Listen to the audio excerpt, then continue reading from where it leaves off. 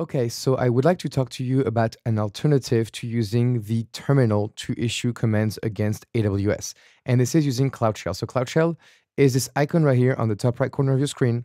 And if you don't see it, just make sure you check out the Cloud Shell availability regions because it's not available everywhere. And so if you go to the AWS Cloud Shell FAQ, you can see that there are uh, some regions that's not available. So let's have a look right now with the regions. Here we go. Question three.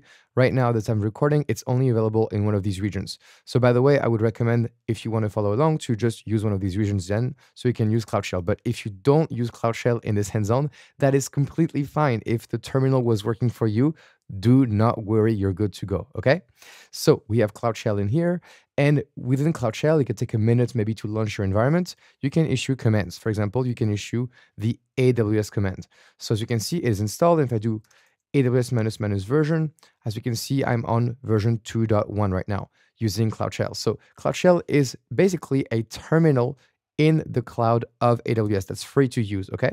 So the cool thing about Cloud Shell is that whenever you are using the CLI. So for example, IAM list users, this is going to return for you an API call as if the credentials being used were the credentials of the account of you using the cloud right now, which is why the API calls are working.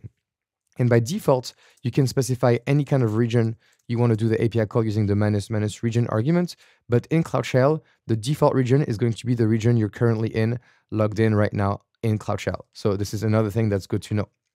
Okay, other things that you should know about Cloud Shell is that you have a full repository. So for example, right now, as we can see, we have zero files within Cloud Shell. But if you just do echo test into demo.txt, this is going to create a text file that contains the word text uh, test. And so it turns out that if you happen to restart your Cloud Shell, then this file will stick. So all the files you are creating within your Cloud Shell environment, for example, this demo.txt, are going to stay. And the other cool thing you can do about Cloud Shell is that you can configure it. So you can say what font size you want, smallest, medium, large, and so on. The, the theme you want, so light or dark, uh, if you want safe paste or not. So this is like a bigger Cloud Shell for me right now. And also you have the possibility to download and upload files. So for example, if I want to get the full path to my file, so this demo.txt, I can just copy it right now, action and download file and then do demo.txt. And this will go ahead and download the file for me.